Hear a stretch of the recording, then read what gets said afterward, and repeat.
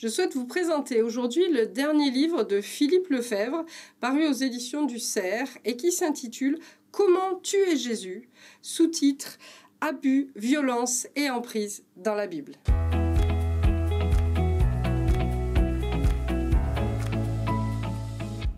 Ce livre n'est pas un livre euh, de sociologue euh, ou une enquête sur les abus dans l'Église, comme il y en a eu pas mal euh, qui sont parus ces derniers temps. C'est un livre écrit par un bibliste qui va vraiment nous expliquer que la violence, les abus sont présents dans la Bible si on veut bien se donner le temps de les regarder.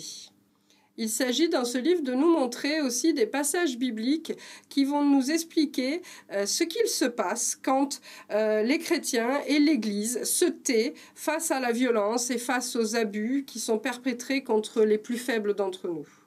Quand le silence s'installe, quand les victimes ne sont pas entendues et sont même interdites de parole dans nos assemblées, alors euh, ces actes ne sont pas dénoncés. Et c'est ce qui se passe euh, d'après l'auteur, c'est que c'est à ce moment-là que l'on tue Jésus, au sens évidemment symbolique, c'est-à-dire que l'on tue euh, ce que Jésus a fait sur la croix. Il s'est humilié pour nos péchés. Et une deuxième fois, on va le tuer en ne respectant pas les personnes humiliées, les personnes les plus faibles.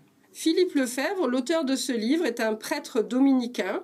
Il est euh, professeur à la faculté catholique de Fribourg. Il enseigne l'Ancien Testament.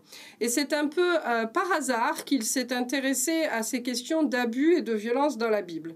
Euh, il avait écrit un premier article sur cette thématique. Et suite à ça, plusieurs personnes sont venues lui confier des violences et des abus dont ils avaient été victimes. Et il a bien voulu ouvrir sa porte euh, son, cœur et ses oreilles pour ces personnes. Dans ce cadre, il a pu entendre une centaine de victimes, euh, que ce soit euh, des victimes d'abus sexuels, de violences, ça peut se passer dans des monastères, des sœurs catholiques victimes de leur congrégation ou encore de pédocriminalité.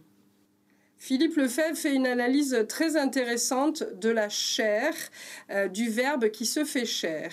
Quand le verbe se fait chair, il vient pour vivre euh, les mêmes choses que nous, euh, humains.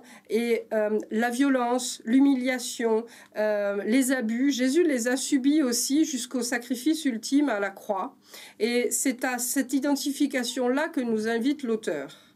Ce que veut mettre en avant euh, ce livre, c'est que la Bible n'est pas seulement un livre que l'on lit, mais c'est plutôt, comme dit l'auteur si bien, euh, c'est un livre qui nous lit euh, concernant telle ou telle forme de violence ou d'abus, les stratégies d'évitement, notamment. La Bible en a déjà parlé et cette parole sur ces sujets-là est en fait très d'actualité.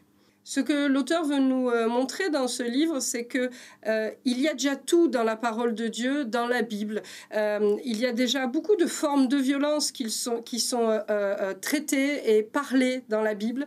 on voit les réactions de Jésus par rapport aux violences ou aux abus. On voit notamment aussi des études très intéressantes sur différents psaumes de la Bible on parle des méchants, euh, on parle des abus, des prises d'autorité, euh, des prises de pouvoir sur d'autres personnes.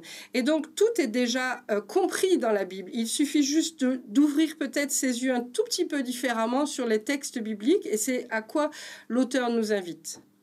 C'est un très bon livre que je vous invite à lire. Euh, l'auteur Philippe Lefebvre euh, nous propose un cheminement biblique euh, sur ce thème des violences et des abus. C'est un livre que l'on doit vraiment lire en ayant sa Bible à côté, car ça nous permet vraiment de cheminer et de redécouvrir certains textes bibliques. J'ai par exemple beaucoup apprécié la relecture des livres de Samuel et du parcours de Anne et de Samuel par rapport à la violence des prêtres dans le temple de euh, Silo. Voilà, je vous invite vraiment à découvrir ce livre euh, pour lire autrement la Bible euh, aujourd'hui.